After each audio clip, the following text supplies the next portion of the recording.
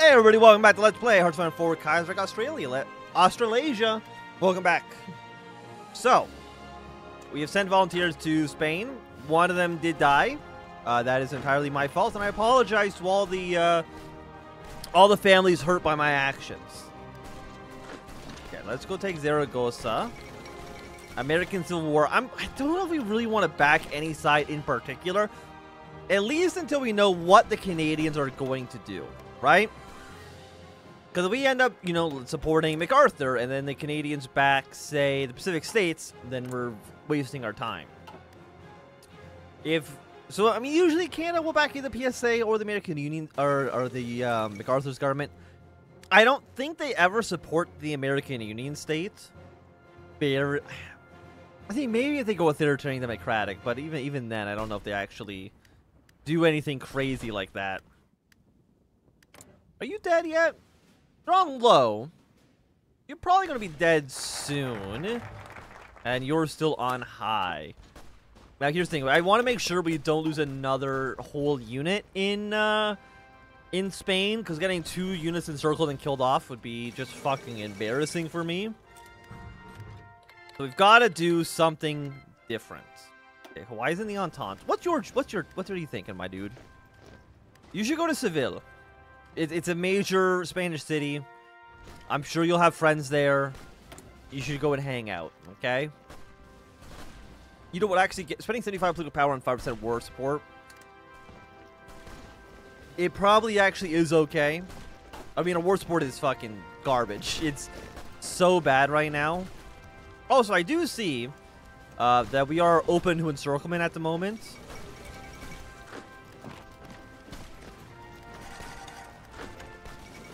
No, no. Hold position. Fall back. I need you to be out of here. Okay. We didn't get encircled. Everybody cheer. Whoopee! We didn't die! We did it! Revolutionaries in Switzerland! That sounds bad for me. Yeah, okay, so Switzerland is now in the um, French sphere, which is pretty bad. Because obviously, we're, we're anti-France, right? We're anti-France. And Switzerland being in the uh, French sphere gives them a very strong position against the Germans. Now, if they um, if they also get the Dutch, we, it might already be game over, to be quite honest with you. But we'll, we'll wait and see on that one. The Iron Mines at Tasmania. Yeah, it's it's only four steel. It's kind of garbage. Okay, so it looks like the Canadians have backed MacArthur. So we could send some troops there. Okay, nationalists in the Netherlands. That's good news for me. Do I send volunteers MacArthur? Max volunteer limits plus two. So we can send three because we're also backing you. So let's send three divisions. Um, we'll go with a, uh, two, four, four, three. We'll send you over to MacArthur. You guys go have fun. We'll, we'll, we'll see. We'll see how it goes for you.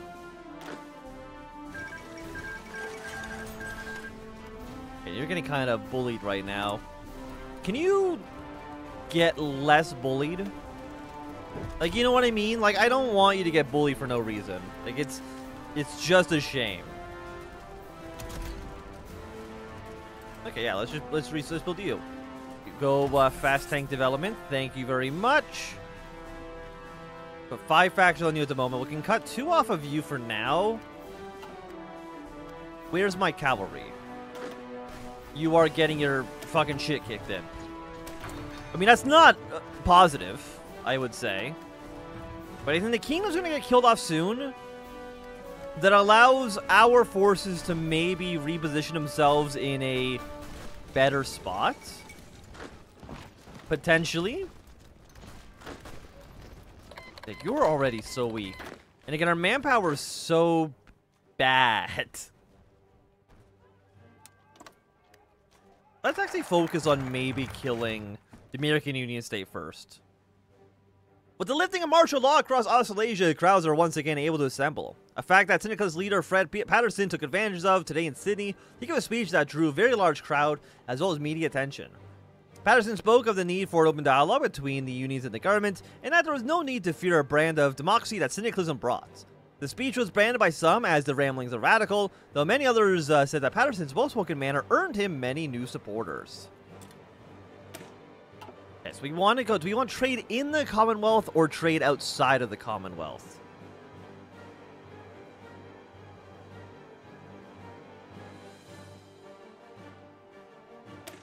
I guess America, Japan, Germany.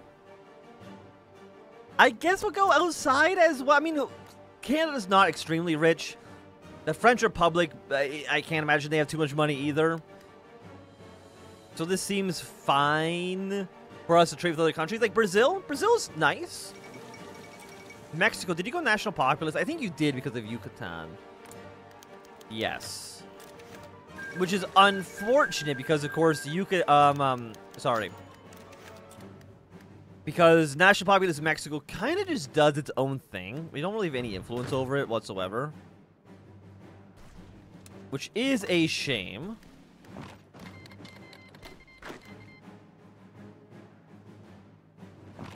What do I even do with you guys, man? Elite orders. They move you here for now. Obviously, if we can kill the CSA, that's the best, um... The best position for us to be in. Because, of course, we don't like... we don't like the CSA. And, like, if you push here, move our way towards Pittsburgh we might have something going on there. You know what I mean? There might be something cool and good. Okay, the vote there's failed. Somehow... The Rising Sun... Japan, like, just mind your own business, okay? Don't do anything against my interest. Okay, so you've now officially at least paid for yourself. You saved us 150 political power. We cost 150, and you've saved us 150. So you're at net zero. So we need to get some more bonuses out of you. Like, if we were to replace you... Now, again, I know it says 100, but I believe it actually is 150. Because it takes away his bonus and then applies their bonus which charges the full 150 price. So we only need 100 political power. We can go into P uh, political power debt for one of these guys in the future. Um, however, it still costs us 150. I'm like 99% sure that's the case. Like 99%. I probably actually, you know what? If we just have you guys on like a fallback plan, Okay, Japan's become the ambassador there. That seems like not great. Because we'll probably see the uh, legation cities go pro-Japan. Which we don't want to see. Let's go with a basic engine on you. We can maybe make our tanks a little bit better.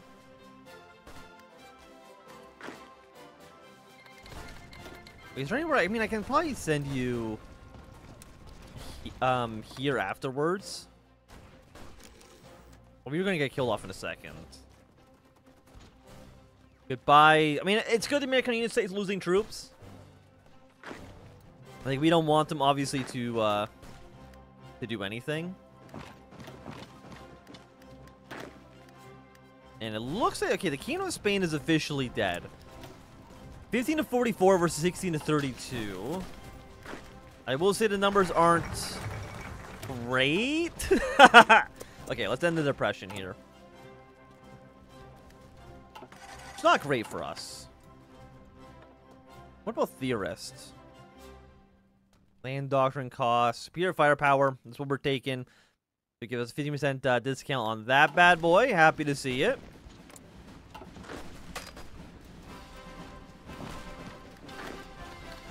Okay, Italy's declared war on Venice. That is more than okay. Guys even up to down here? It's a lot of CS um, CNT troops. Seems like they have pretty low supplies. What are your numbers at? You're at high. We are at waning. Which is not ideal. I'm assuming it's because, like, they've taken over some of these areas. So I think you immediately are a core, right? Yeah, so it's actually kind of funny. By killing the kingdom, it actually puts the Carlist in a worse position, which I think is very, very funny. Whereas if the C of CNT did most of the work and it's in the same um, positions, they would actually be worse off.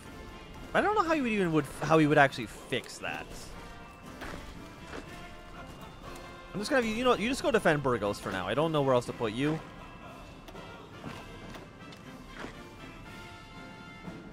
Have you guys defend your way in northern New York. I mean, you're doing very, very well against the CS, um, the American Union state. I will give you that. I want to there's so many options, man. Like, it's like, it makes sense for us to want to defend up here because it looks like the, uh, the AI is just not putting many units on this front. However, putting pressure in, like, there's nobody even here. Okay, you know what? Delete this again. Fallback line here. You figure out how to fucking get over here, okay? So trade missions, what do you actually get for this? 25 political power, and we just politely ask them to be friends. Well, let's send one to Russia because hey, we're not we're never going to be at war with Russia, right? It's just not going to happen. So it would make sense to send them some overtures, being like, "Hey, buddy, uh, Russia, we're good, friends." It makes sense. Um, begin the Christian plebiscite. You don't matter. We don't care. Oh, can I actually not improve you until we do the plebiscite? Okay, okay. There are some countries that do have that modifier. I know Canada's one of them. That's why there's the Quebec crisis. You are all 39 tax. A little bit too expensive for me. 38. It's September, but you know what? Fuck it. We'll do it. Let's get that bad boy going. Oh, our units are already here. Fantastic. Okay, you go to Tallahassee. One of you move your way towards, um, into Florida. Party commies declaring war. Preparing for war. This is for India against a princely federation. Or against Bharti commune. I'm, I'm sorry. Yes, we can take Florida. Take Tallahassee. Does the American Union say, do you just, like, not... Like, no offense. Do you just, like, not have soldiers? Are they just, like, nowhere to be seen? Okay, let's move here. Take Miami. Move you in this direction, please. I just want to make sure we don't get ourselves encircled. Yeah, 50 political power. You always want to do the maximum. I IEDC, they're very, very good bonuses. I don't think there's ever a time when you're like, no, I don't want to invest in the IEDC. Unless I, maybe if you're doing like a very specific thing, then maybe. Also, this is always the best one. I don't know. I don't know why you'd ever take a different one. Death of David Murray Anderson. Today, all flights within Sydney are flown at half-mast after a sudden death of Sir David Murray Anderson. Sir Anderson, currently sitting governor of New South Wales, is most famously known for successful evacuation of the British colonies in the East Indies, saving thousands of lives, as well as for a large portion of the British Pacific Fleet. While Sir Anderson has been ill for some time, leaving Sir Philip Street to fill in for his public appearances, he has been vocal in supporting the Australasian Guard as the only uh, right-thinking man in Austra Australasia who would be capable of enacting his plans to retake the Indies. His death has only further built support for the far uh, for the right-wing movement. I mean, we're doing we're doing good work here. Take Miami. Um, let's go for a military factory. Taking Miami, which basically means that you're now cleaned up. We go to Montgomery. I think it makes sense. Where's Atlanta? Atlanta's right here. Because if we can kill the American Union State, I think that'll give MacArthur a better chance against the um against the CSA. God, we need more manpower. it's it's an issue for us. Because we, we just cannot reinforce our units. And I'm kind of, I'm honestly, I'm thinking like, do we just like leave Spain? I think the answer is yes. I think we just leave Spain. I'm not going to be able to do too much there. I think we're just wasting our time. Let's go 38 um, weapons here. Did we take... Is this Montgomery? Okay, you are in Montgomery now. Let's move our way towards Atlanta. Are you... You're this province. Okay. Yeah, we got fuel refining done. And what are you? Not unlock any bonuses. Okay, so it, it's basically just you. You actually got pushed out of this province. That's a little sad, but that's okay. You can push here. The depression has officially ended. That is four military factories and four... No, that's... That's eight military factories, eight civilian factories. Holy shit. And like 15 infrastructure. That is not bad at all. Stability would be nice. Um... I guess we would probably suppress the Syndicalists if it was up to me on this situation. Let's get some more military factories. Are you currently... You're probably... You're actually not currently pushing against anybody, unfortunately. And of course, all of our Entente allies presumably have kind of fucked off to go deal with this situation. Yeah, you're at war with uh, the Entente. I'm not, again, I'm not joining the war against Party Commune. Like, I understand it might make sense to some, but it does not make sense to me at the moment. By the way, did any of you get manpower? A few thousand? The answer is basically no.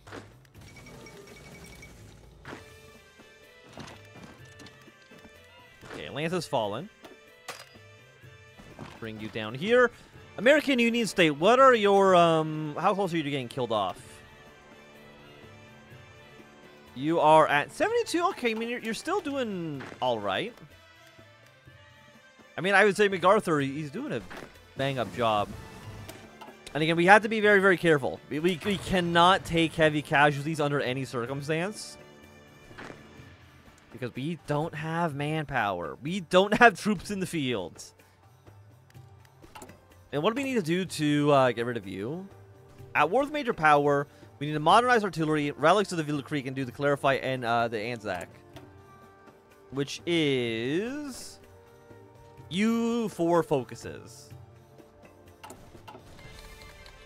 So you probably want to get down there. But at the same time... No, we need to build up an army. that's that's kind of like non-negotiable, actually. But then also getting to so many, like all these factories. Oh, there, there's so many choices. There's so many choices. How do I say no to any of them?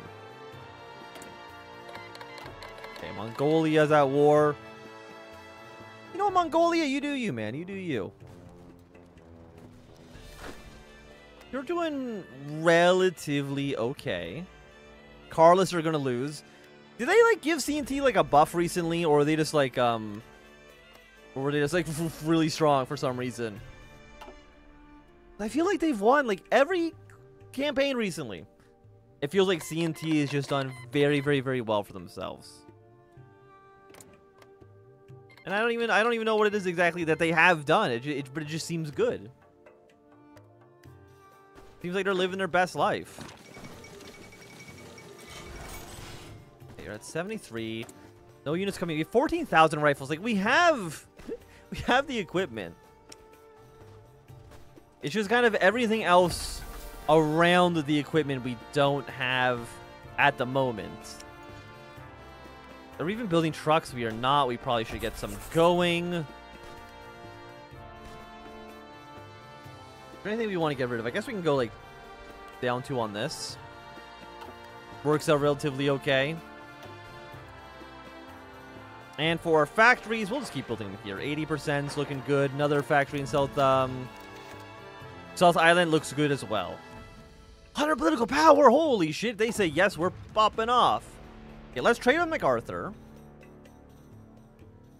Market liberalism, more support for us. 150 political power. Now, again, that does give us a little stability boost. As well as a little bit of a political power gain as well. But you can also look at this and be like, well, what else are we really going to spend the political power on? Not too much at the moment. Because world tension is not that high. Our war support is not very high either. If we had 70, um, if we had, um, 2% more war support, we could go partial mobilization. But unfortunately, that is just not an option available to us at this exact moment in time. But I will say, at least for right now, I think this will be a good time for us to end off this episode. So if you enjoyed, give a thumbs up. Not enjoyed, thumbs down. You want to see more, subscribe, and goodbye.